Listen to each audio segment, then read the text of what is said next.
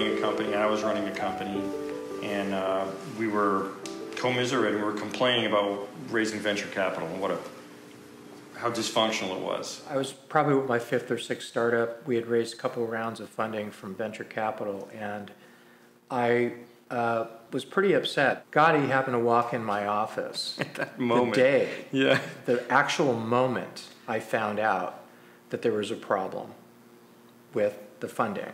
And I was really upset and I was ranting about how we really needed to find a way to improve how venture capital worked. And I thought that we needed to align the interests of the entrepreneurs with the venture people, and I wondered whether we could find a way to make that work and also make money.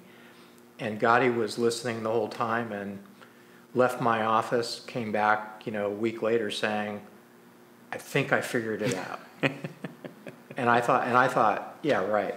I think we ultimately realized, you know, just you know, figured it out thing, uh, is that uh, the the main reason that uh, there's such dysfunction for small companies raising big ventures is that incentives don't align. They, the big funds, they're betting on this massive home run. They do 30 deals in a fund.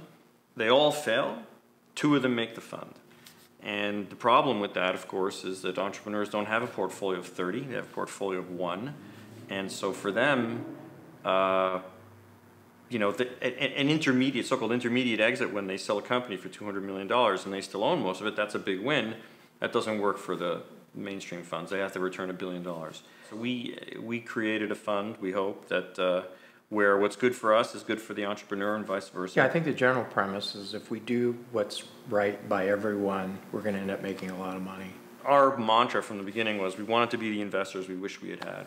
But most importantly, because we're investing at a really early stage, we, we're a seed stage company, and so usually first money in.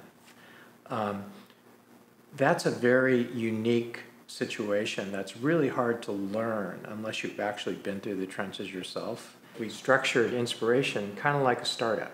Startups, the founders, they don't pay themselves a big salary. They expect to make all their money when there's big liquidity. We're the same. We were willing to wait it out, and we were willing to defer, you know, compensation and get compensated if we're successful. And I think that that says it all right there.